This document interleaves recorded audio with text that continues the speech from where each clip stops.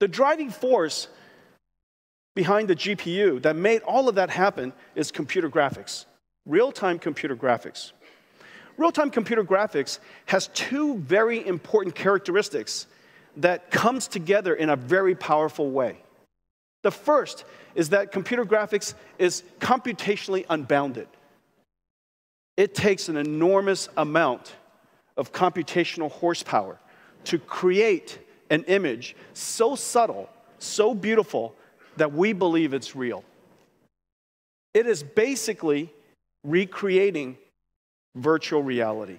It is basically doing physics simulation. The ultimate scientific computing application,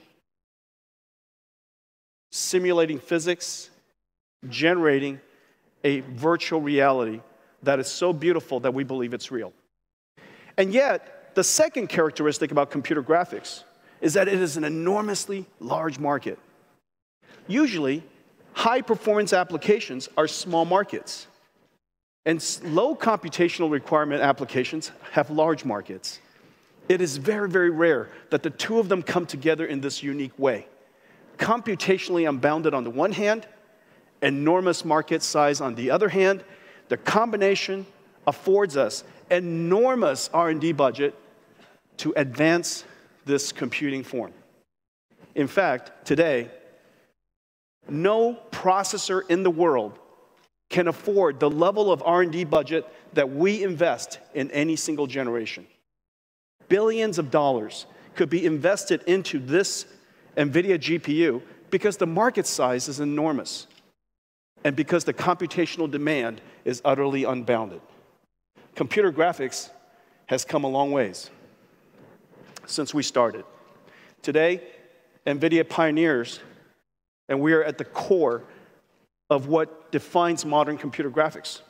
From material simulations, beautiful lighting and shadows, the reflections.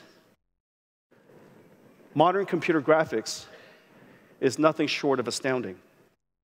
And yet, what we really want to do is to do this completely in virtual reality so that we could put ourselves into this world.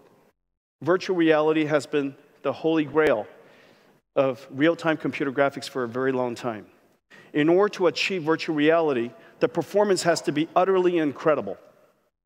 Because the moment you move your head, you need all the pixels to move instantaneously. You need to be immersed in an environment that you believe to be real. And so, what we decided to do was to create the world's first holodeck, the NVIDIA holodeck. The NVIDIA holodeck has several characteristics. The first thing, of course, is that it's physically modeled. Physically modeled means the materials are physically modeled, the surfaces are physically modeled. Of course, all of the geometries are physically modeled, the lighting system is physically modeled, so that it looks as real as possible. The goal is not to make it just look beautiful, it has to be beautiful. But the goal is to make it also look real. It has to, it has to simulate the laws of physics. When you touch something, you have to feel like you're touching something. When you drop something, it has to fall to the ground. Because in virtual reality, like it is in reality, you have to believe that you're touching and feeling and engaging and interacting with something that is real. You want to be able to share this world with a lot of people that are completely in different places. Virtual collaboration. The first example of virtual presence. People from different places around the world can come together in one place and feel like they're there together. And then lastly, it has to have AI. In this future, in this future, some of the characters will be real. They're your friends and colleagues from another from faraway places. And some of the characters in this world will be AIs. Maybe it's a robot assistant. Maybe it's just another character wandering by. Having AI in this world, helping us, collaborating with us, allows us to create just anything we can imagine. And so, with that, let me show you the NVIDIA holodeck. Hey guys, I'm Sean. Hey guys, hi Sean. This hi is Yuko. Hi, Jensen and everyone. Welcome to the holodeck. Okay, hey guys. So just like Well, a real- introduce yourself. First of all, who's who? I'm Sean. I'm right here in the middle. Hi. Sean. And this is Kyle. Hi Kyle. Hi. And I'm Yuko here. you go. And you guys could be, of course, you guys are all here in Japan, but you could be anywhere.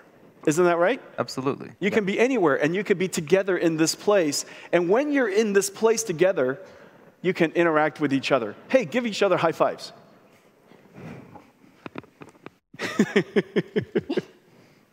and so, of course, they feel like they're inside this environment together. Sean, show us what you have in the holodeck for us. Sure. Well, I mean, first, it's, it's a holodeck, so it can be any place in any environment we could possibly imagine. We've built a, a laboratory here so that we can explore objects with realistic lightings and shadows and get a real experience and real feel for a design. Let's check out what we can do and what we can show off. So this is a, a Lexus, and it's the first luxury coupe from Japan. Wow, it's beautiful. Let's take a, a look inside. Kyle, why don't you hop in the driver's seat there? For sure.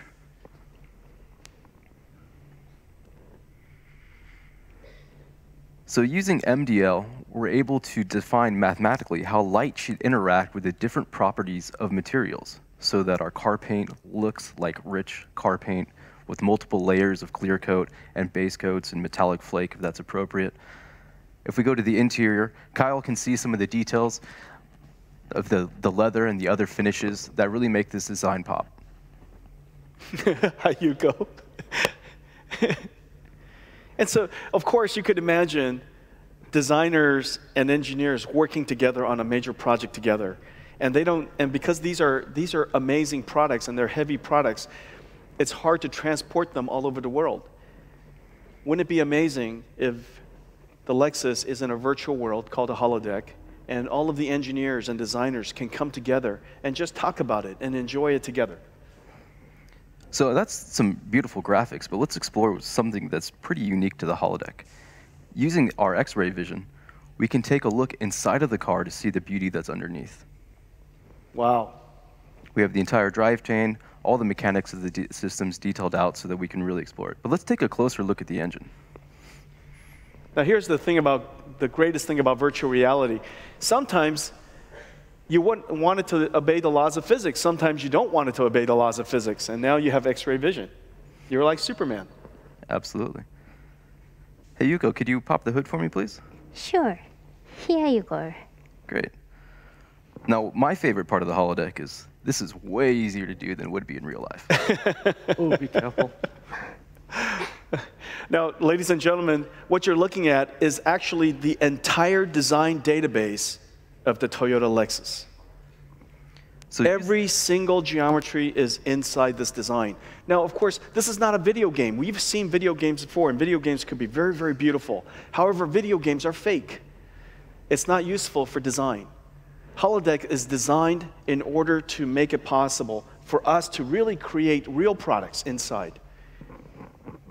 And we can go deep inside of, of how the mechanics work as well. We can take all of this engine apart, select an individual component, and see what it does, how it fits together with the other parts of the system, and what makes the system really work. Sean, do you know what it is? Oh, this? Yeah. Yeah, this is the crankshaft.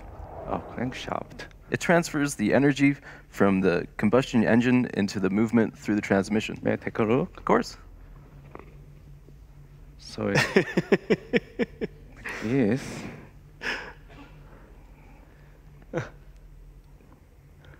Okay. Oh, you're very strong. Yeah, I am.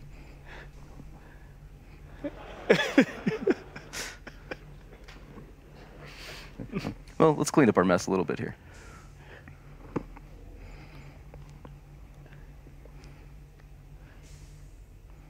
That's incredible. And so, ladies and gentlemen, the NVIDIA holodeck, and what really makes it special, give it a second. Hey, guys, thank you very much. We, well, hang on a second, hang on a second. And so, so what really makes, makes the holodeck special is, first of all, it ingests, it takes in the original design database of the product in all of its incredible complexities. It obeys the laws of physics, unless you don't want to obey the laws of physics. It has the ability to render the materials so physically accurately that it looks like the real material. That leather looks like leather. Bless you. Leather looks like leather. Brushed aluminum looks like brushed aluminum. Steel looks like steel. and car paint looks like car paint. Beautiful headlights look like beautiful headlights.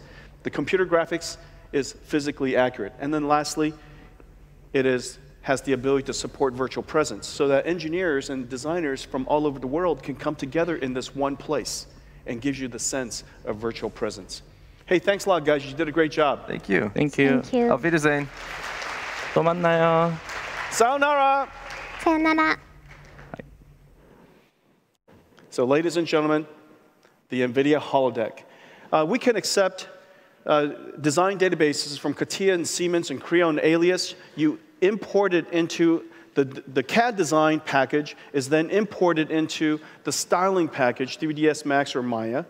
Then it's imported into the holodeck. These are all industry standard tools with all of the industry standard formats. As a result, almost anything could be imported into the NVIDIA holodeck. Once it's imported into the NVIDIA holodeck, you can have virtual reality experiences that are far and wide apart, and so that engineers and designers can come together in this environment and share it. Managers could then look, look at this design and be able to make trade offs, trade offs and what ifs, try different materials and different wheels. And who knows, one of these days we'll be able to use this to even purchase and design your own car. The NVIDIA holodeck.